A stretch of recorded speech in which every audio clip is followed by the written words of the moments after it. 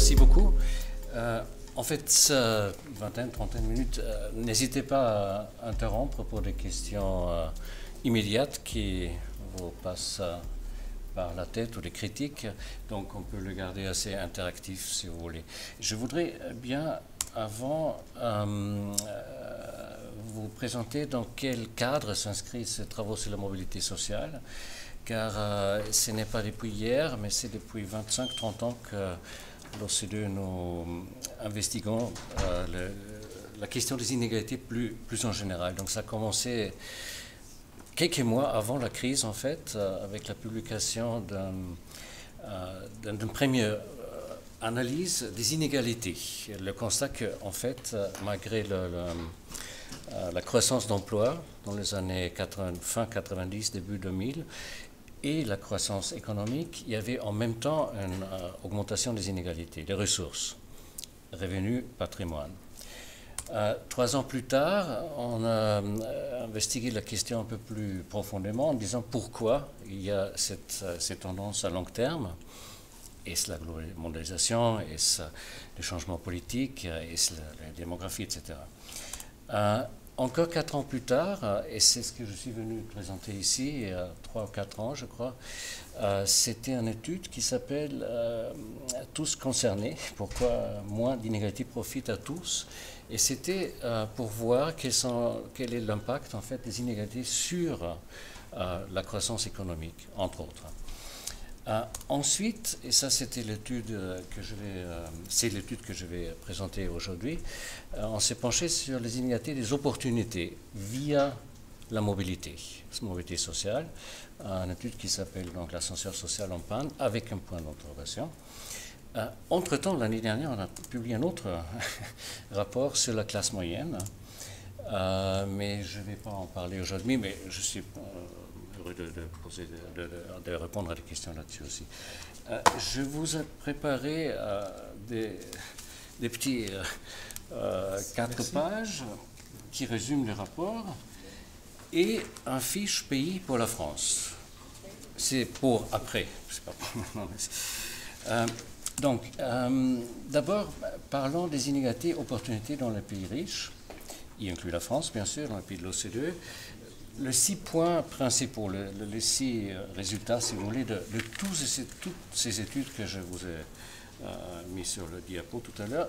Premièrement, jusqu'à récemment, les inégalités euh, ont augmenté pendant 20-30 ans dans les pays de l'OCDE pour atteindre un niveau record depuis les années 80. Deuxièmement, si on cherche des, raisons euh, les plus euh, pertinentes, c'est premièrement le marché de travail et l'augmentation du travail non standard, et deuxièmement une euh, politique de redistribution qui a baissé au moins jusqu'à la crise 2008. Et depuis, ça dépend du pays. troisièmement, et ça c'est important, je pense de le rappeler, les inégalités pénalisent la croissance économique et, c'est le sujet d'aujourd'hui, par conséquent, ralentit la mobilité sociale à long terme. quatrièmement, donc, euh, les inégalités et le manque de mobilité se renforcent mutuellement. Ce n'est pas euh, soit l'un, soit l'autre, mais c'est plutôt ça va ensemble. Euh, cinquièmement, si vous voulez, un résultat principal de cette étude sur l'ascenseur social, c'est qu'il faut il faudrait dans les pays de l'OCDE 4 à 5 générations pour que les descendants d'une famille euh, en bas d'échelle, les 10% le plus bas, atteignent un, niveau moyen seulement, pas plus hein, moyen. Et sixièmement, et très important aussi dans ce cadre d'aujourd'hui, c'est les politiques publiques peuvent influencer euh, ces résultats et peuvent jouer sur les inégalités et sur la mobilité sociale. Il y a un, demande qui est euh, très forte. juste un, petit vue d'abord sur les inégalités de ressources, ici c'est le, revenu, euh, dans les 36 pays membres de l'OCDE. Euh, un indicateur qu'on utilise toujours, c'est le coefficient de Gini qui varie de 0 lorsque tout le monde a le même euh, niveau de revenu et 1 lorsque une personne a tout le revenu. Et en moyenne, donc moyenne OCDE, c'est environ 32, 33. Mais ça varie de 23 à 46, c'est-à-dire du simple au double. 23 dans certains pays d'Europe centrale, Slovénie, République slovaque, et certains pays nordiques, Finlande, Danemark, Norvège et 46 dans nos pays membres d'Amérique latine, Mexique, Chili. Euh, la France se situe dans un deuxième groupe de pays, c'est-à-dire c'est pas avec les pays les plus égalitaires, mais c'est non plus avec les pays plus égalitaires. C'est en dessous de la moyenne, ensemble avec l'Allemagne, avec euh, euh, l'Autriche, c'est mon pays, et d'autres pays. Bon, ça, c'est les inégalités de revenus, de ressources. Mais, euh, Mais malgré un, niveau qui n'est pas au même haut niveau qu'en France que, par exemple aux États-Unis ou dans les pays euh, d'Amérique latine, il y a un sentiment grandissant euh, que la mobilité sociale s'amenuise.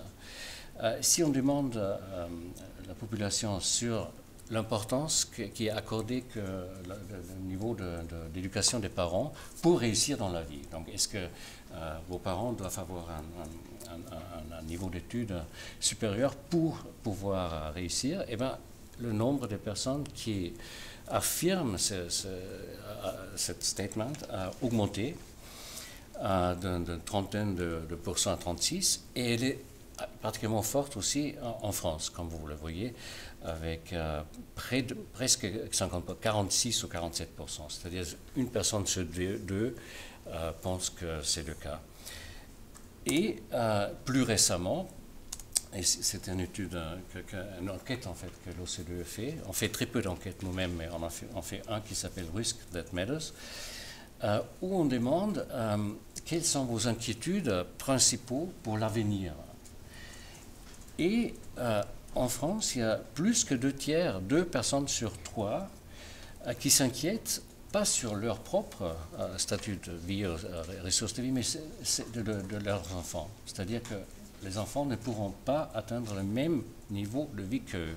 En, moyenne, c'est très haut aussi, c'est 59%, mais en France, c'est un des pays les plus forts de cette perception. Alors, est-ce que cette perception a des, racines, des sources?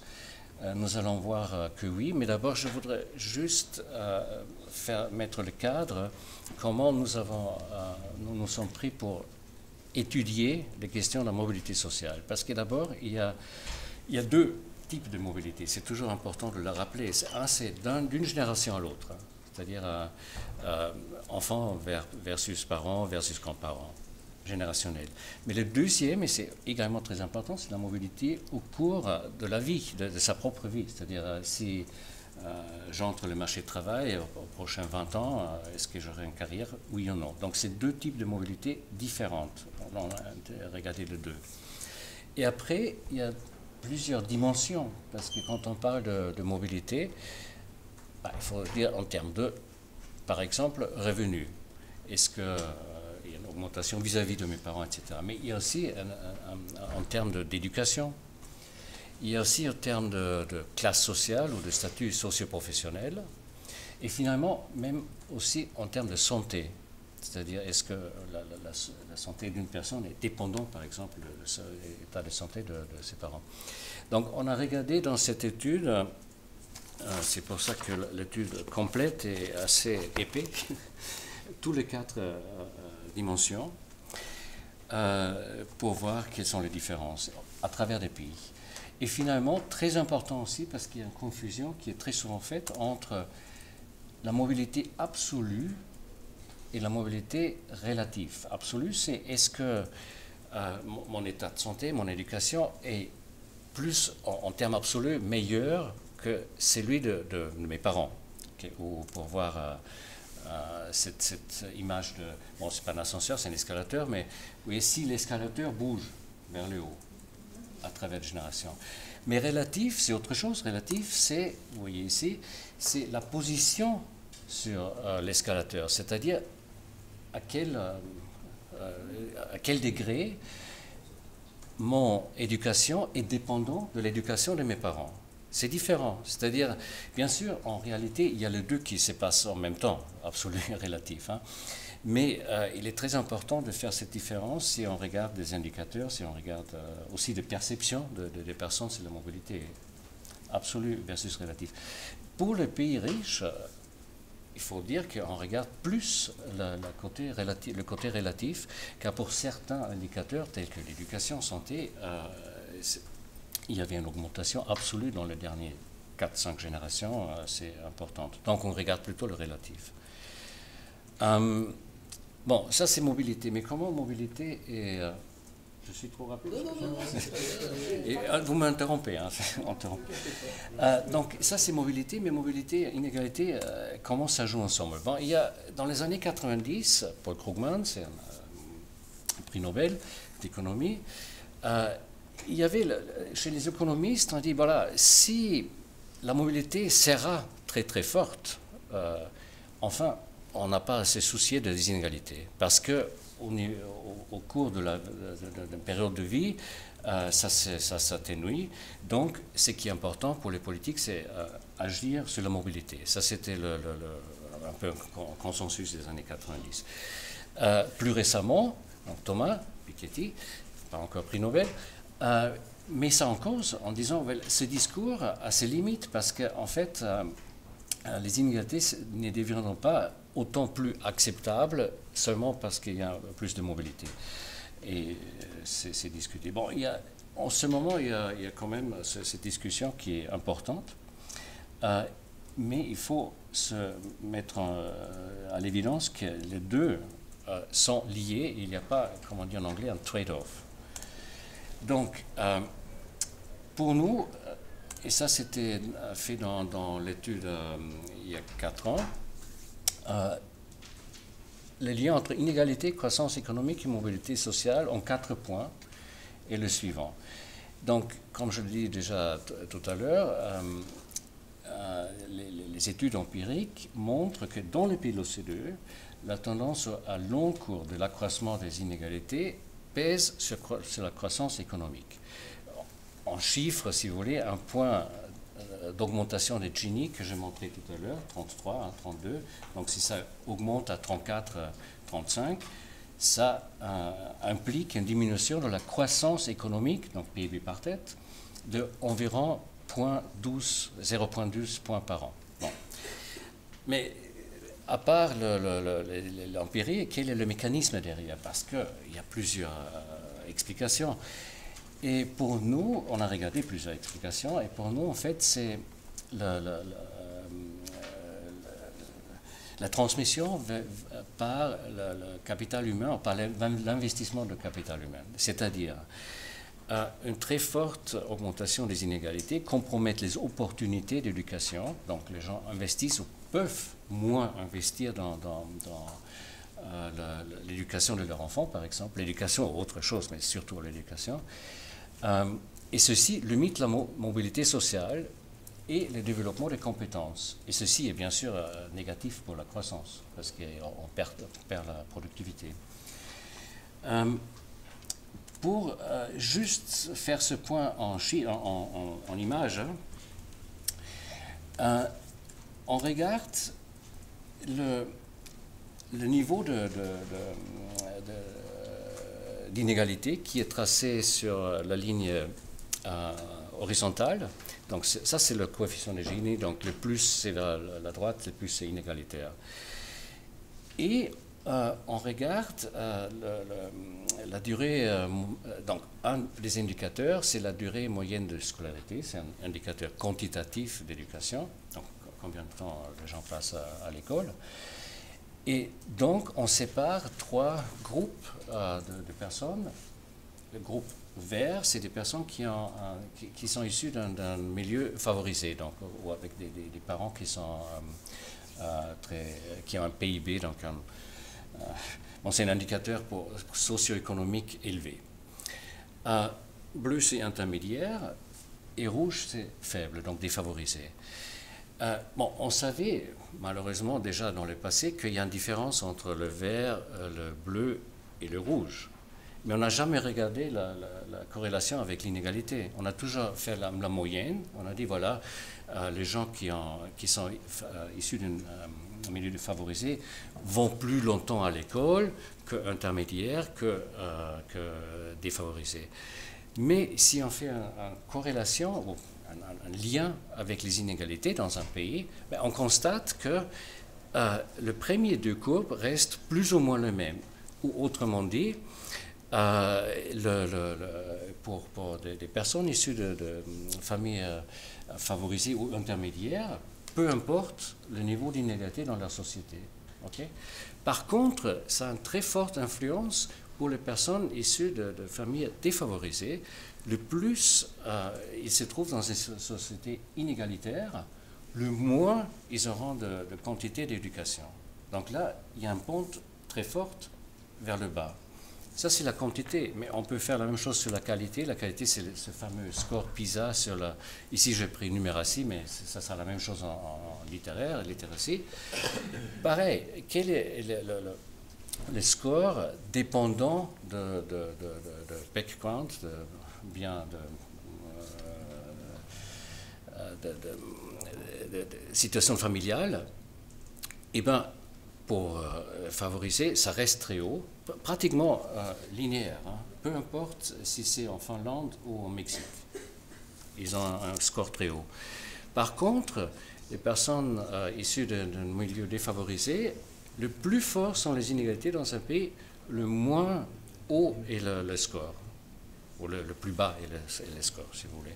Donc, c'est exactement ça, cette transmission entre inégalité, mobilité sociale et euh, perte de croissance. Bon, euh, maintenant, pour euh, me, concentrer sur, sur l'étude, et ça, c'est un graphique qui était en fait même affiché dans, les stations de métro à Paris. on a calculé, on a estimé le nombre de, générations qu'il faudrait pour euh, arriver d'un niveau modeste, c'est-à-dire de 10% euh, le plus bas, à la moyenne. Pour l'OCDE, c'est entre 4 et 5 générations. vous voyez, dans certains pays, surtout les pays euh, nordiques, il y en a 2 à 3. Dans les pays non, non membres de l'OCDE, surtout en, en Amérique latine, il faut compter 9 à 11 générations, et eh bien en France c'est 6. 6 comme en Allemagne d'ailleurs, mais comme aussi en Chili. Et c'est donc plus élevé qu'ailleurs. Donc pour mettre ça ensemble avec le premier diapo, le niveau d'inégalité de revenus est sous la moyenne en France, mais le niveau de mobilité euh, est, en dessous de la moyenne de l'OCDE. Donc il y a, un déséquilibre ici. Euh, euh, comment on s'approche pour décrire ou pour analyser un petit peu cette immobilité en fait? Ben, on pas moi, je n'ai pas trouvé de, bonne traduction pour le sticky floors and sticky ceilings, donc des planchers et des plafonds collants. parce que très souvent, et c'est surtout dans, les politiques, on, a plutôt l'œil sur le premier, c'est-à-dire l'obstacle qui existe pour monter euh, de bas vers le milieu, vers le haut. Mais il existe aussi des, plafonds collants. Il ne faut pas oublier ça. Et je vais montrer ça dans, le prochain slide. Prenons par exemple, là c'est l'exemple de l'éducation. Bon, le premier bar c'est pour l'OCDE moyenne, deuxième c'est pour la France. Euh, le, en fait, ces plafonds collants, c'est 63%, c'est-à-dire euh, c'est la probabilité euh, d'atteindre un niveau tertiaire d'éducation si euh, vos parents sont aussi académiciens. donc c'est deux tiers, c'est 63%, et en France c'est 68%. tandis que pour le, si vous cherchez dans le deuxième panel ici, euh, si aucun des, parents a atteint le deuxième euh, cycle de, secondaire, eh ben, ça tombe à 13% euh, et 17% en France. Et on pourrait faire encore plus, plus limité pour, parce que là c'est le, tertiaire en général, c'est maîtrise, etc. Si vous prenez juste le doctorat, vous avez 20% en haut et 1,5% en bas. Donc c'est carrément marginal. Mais c'est très, souvent les, exemples qui sont utilisés dans la presse pour dire voilà, on peut réussir, etc. Mais c'est 1,5%. et ça, et par contre, le, plancher collant, ça c'est le 42 et 37% c'est-à-dire euh, de, rester sur le même niveau euh, pas, élevé d'éducation. Et ceci, c'est pour donner un peu plus de temps à, la discussion, parce que je n'ai pas euh, discuté en, en, détail, mais cette image de plafond et plancher collant, vous l'avez aussi pour la, des catégories socioprofessionnelles, c'est la même, ou pour euh, les gains ou pour le, revenu d'activité. Il y a toujours pour plusieurs euh, éléments euh, cette existence d'immobilité et en bas, mais et en haut. Il faut bien souligner cet aspect. Maintenant, bon, prenons euh, les différentes euh, dimensions ou aspects que j'ai mentionnés tout à l'heure, c'est-à-dire revenus, éducation et euh, classe sociale, et mettons ensemble avec l'indicateur classique sur, sur, les inégalités de, revenus, pour avoir un peu une image et une comparaison entre pays. C'est-à-dire, sur la première ligne, c'est le niveau des inégalités de revenus. Donc, le plus c'est vers la gauche, euh, le plus égalitaire est un pays. Donc, le Danemark est, euh, assez vers, la gauche. L'Italie, c'est plus vers la droite. Et les trois lignes suivantes décrivent des indicateurs de mobilité intergénérationnelle. Le premier en termes de revenus, deuxième éducation, troisième classe sociale ou classe socio-professionnel, si vous voulez. Bon, Danemark, c'est dans tous les trois euh, euh, euh, aspects sur la droite, c'est-à-dire plus mobile que les autres pays de l'OCDE. En termes de revenus, même le plus mobile de tous les pays, parce qu'elle est toute à droite. Italie, par contre, c'est, tous les indicateurs sont à gauche, c'est-à-dire une plus faible mobilité de, de revenus, surtout aussi de l'éducation, et euh, de, classe sociale. Donc jusque-là, euh, ça conforte aussi certaines euh, thèses qui disent, voilà, mobilité est plus forte quand les inégalités sont plus basses. Par contre, il y a des exceptions dans les, des exceptions dans les pays de l'OCDE. Et il y en a deux euh, que je voudrais présenter, c'est la France et l'Allemagne. Parce que, et en France et en Allemagne, pour les inégalités, comme je l'ai décrit tout à l'heure, sont plutôt vers le gauche du panel de l'OCDE, c'est-à-dire sous la moyenne, plus égalitaire que d'autres pays de l'OCDE, termes de distribution des revenus disponibles de ménages. Par contre, donc on pourrait euh, attendre que ça sera un peu comme le Danemark, les autres indicateurs sont plus sur la droite. Eh bien non.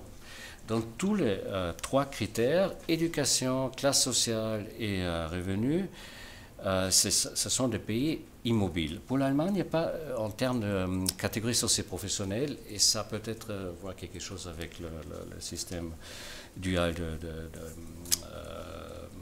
éducation professionnelle. mais vous voyez ici que c'est différent des autres pays, et donc aussi le défi politique sera devront s'adapter à cette, image. À cette image euh, bon, ça peut-être je laisse tomber.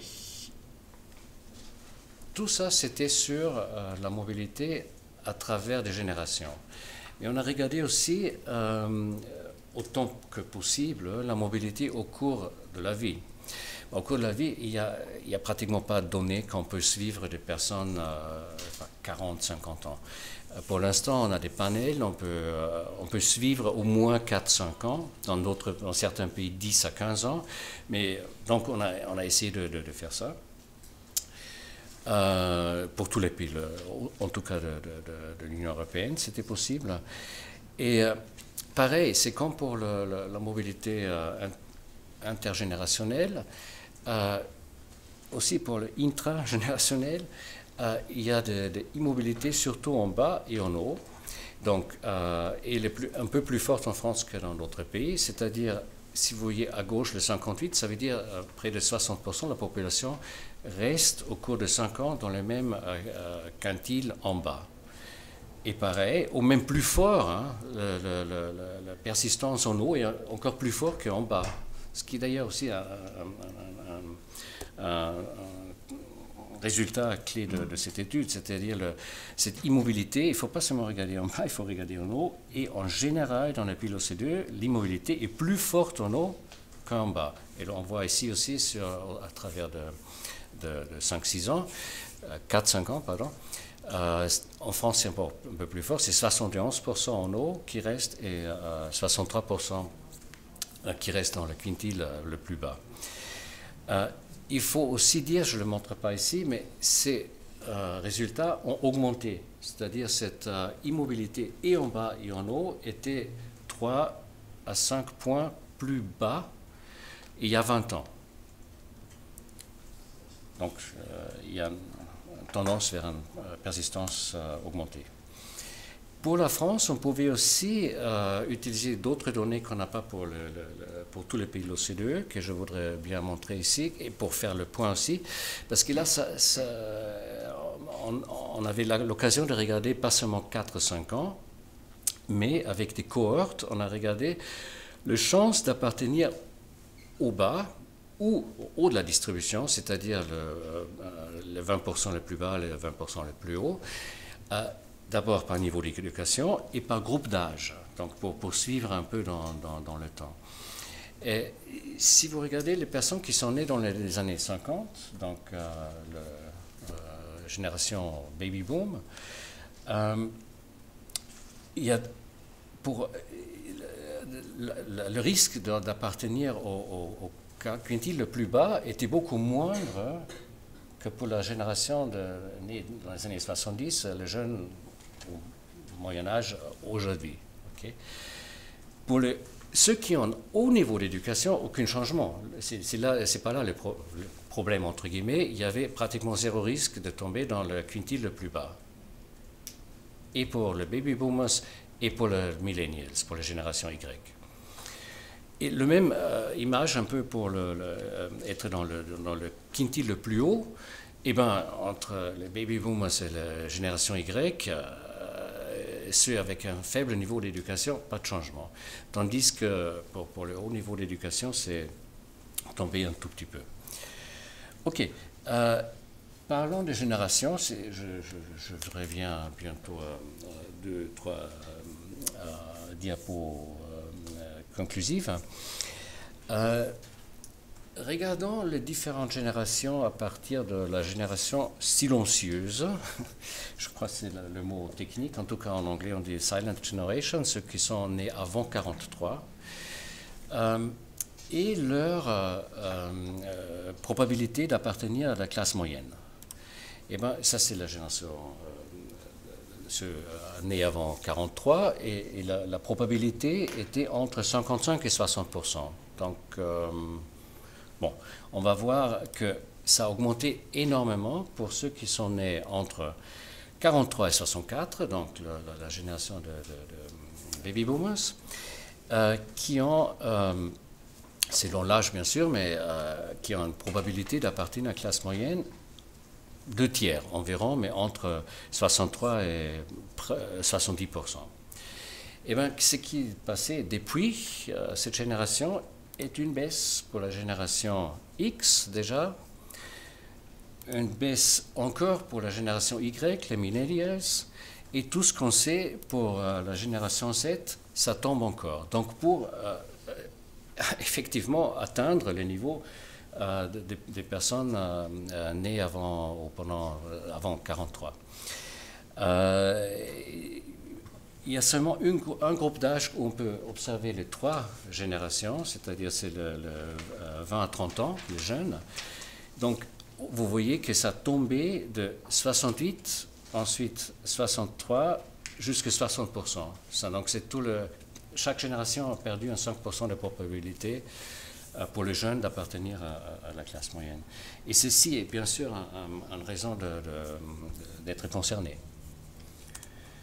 Bon, pour, comme je dis au début, c'était le sixième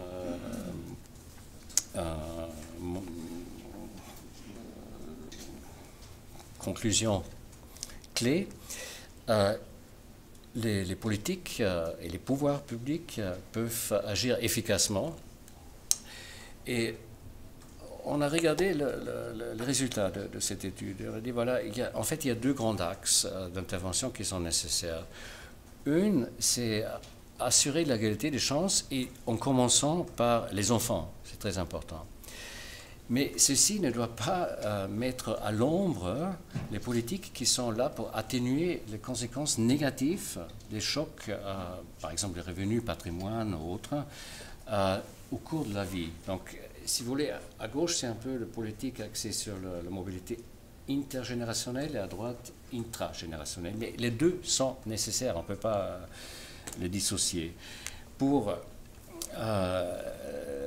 pour les politiques, euh, les, chances pour euh, les enfants, évidemment, il faut commencer par le, le, mot de garde, la petite enfance, ok mais aussi ensuite euh, agir sur les inégalités scolaires. Un élément ici, c'est aussi de, des politiques pour plus équilibrer davantage la, vie familiale et professionnelle ce qui fait dans certains pays plus que dans d'autres. Hein. Mais plus globalement, et ça joue sur les égalités d'opportunités, euh, d'avoir des systèmes redistributifs efficaces pour limiter les inégalités.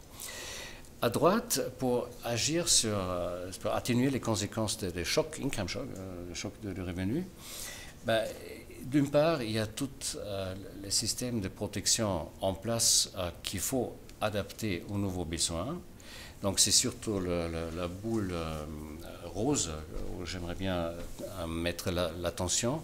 C'est-à-dire, euh, bien qu'il y a dans, la plupart des pays de l'OCDE un, système de protection sociale assez évolué, développé, il faut l'adapter aux nouveaux aux, défis de, nouvelles formes d'emploi.